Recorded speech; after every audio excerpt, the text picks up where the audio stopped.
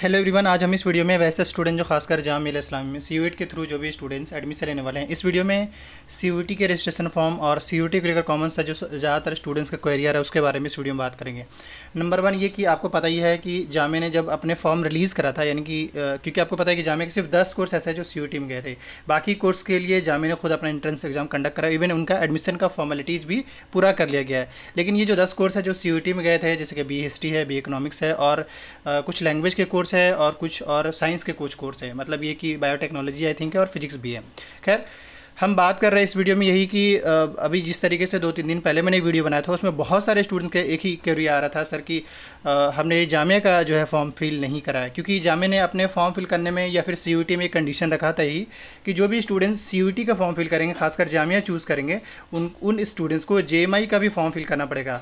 और जब जामिया ने फॉर्म रिलीज़ करा था, उन्होंने जुलाई मई मई के आसपास ही फॉर्म रिलीज़ करा था, मई मई। तो जब उन्होंने फॉर्म रिलीज़ करा था तो सीयूटी के लिए भी रिलीज़ सेम टाइम में रिलीज़ कर दिया और सेम टाइम में आपका जामिया का भी फॉर्म रिलीज़ करा था। और उस, उसके बाद उन्होंने एटलीस्ट दो बार एक्सटेंड किया था। सीयूटी का फॉर्म जामिया ने दो बार एक्सटेंड किया था और मैंने उस वीडियो बनाया भी था। लेकिन जहाँ तक अभी जो कमेंट्स आ रहे हैं, हालाँकि इनिशियली ये पता नहीं चल पा रहा था, लेकिन अब जब मैंने इससे पहले एक वीडियो बनाया, उसमें मुझे फाइनली समझ आया कि बहुत सारे स्टूडेंट्स ऐसे हैं जिन्होंने जामिया का फॉर्म नहीं फिल करा स्पेशली जामिया का फॉर्म नहीं फिल करा। सी में जामिया को उन्होंने लिस्ट में डाला है, लेकिन जामिया का फॉर्म उन्होंने नहीं फिल करा और बड़ा सिंपल है। जामिया ने अपना कंडीशन भी रखा है कि भाई, अगर आप जामिया का फॉर्म फिल करते देन यू आर एलिजिबल अगर आप नहीं फिल करते देन आप you are not eligible for that तो ये प्रॉब्लम ऑलमोस्ट ज़्यादातर स्टूडेंट के साथ है। यहाँ पर मैं कुछ सोल्यूशन को लेकर भी बात करूँगा।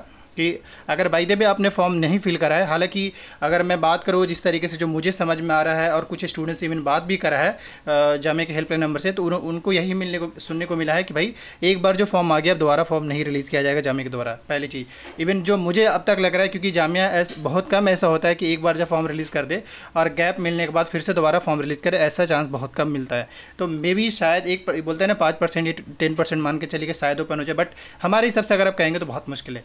हो सकता है मे बी अभी कुछ कहा नहीं सकता है, क्योंकि आपको पता ही कि सी का रिज़ल्ट आने वाले हैं और हो सकता है जब इसके काउंसलिंग स्टार्ट हो रिज़ल्ट के बाद ही कुछ हो सकता है, उससे पहले तो नहीं है, मुश्किल है, लेकिन रिज़ल्ट अगर उसमें भी बहुत लोचा है, क्योंकि उसमें फिर ये भी है, बहुत सारे स्टूडेंट का ये भी डिमांड हो सकता है कि एक बार सी एप्लीकेशन फॉर्म खोल दे, ताकि हम वहाँ पर यूनिवर्सिटी को ऐड कर दे। तो अलग अलग स्टूडेंट्स का अलग अलग क्वेरी है, लेकिन मौका सबको एक बार ही मिलता है बार बार मौका नहीं मिलता, ये भी समझने वाली चीज़ है।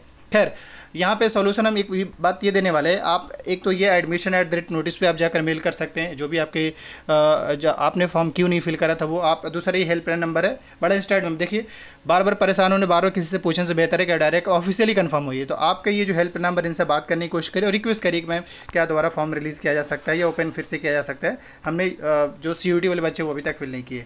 और ये पता है कि क्यों नहीं फिल किए? क्योंकि वो, उनको लगा था कि सिर्फ़ अभी यूनिवर्सिटी ऐड करना है। सीयूटी का जो यूनिवर्सिटी लेवल पर जो मतलब जिस यूनिवर्सिटी में एडमिशन वो तो बाद में होगा, और वो भी उस टाइप का कोई सीन उस टाइम बताया नहीं गया था। तो इस वजह से ज़्यादातर स्टूडेंट साथ इशूज़ आए हैं। इसके अलावा यहाँ पे जब इनके वेबसाइट पर आ जाएँगे, यहाँ पे जब इनके वेबसाइट पर आएँगे तो यहाँ पे आप देख सकते हैं कंट्रोलर ऑफ़ एग्जामिनेशन का जो है डिप्टी रजिस्ट्रार और असिस्टेंस कंट्रोलर का मेल आईडी आप इन पे पर्सनली मेल करके देखिए, शायद आपका रिस्पॉन्ड आ जाए। बट देखिए अगर आना होगा तो आपको ठीक सेवन से टेन सितंबर के आसपास में या उसके जस्ट बाद आपको शायद पता चल जाए बट अभी के हिसाब से थोड़ा मुश्किल लग रहा है लेकिन फिर भी आप ट्राई लीजिएगा हो ना हो अगर मे भी अगर चांस मिले तो आप फील कर पाएँगे।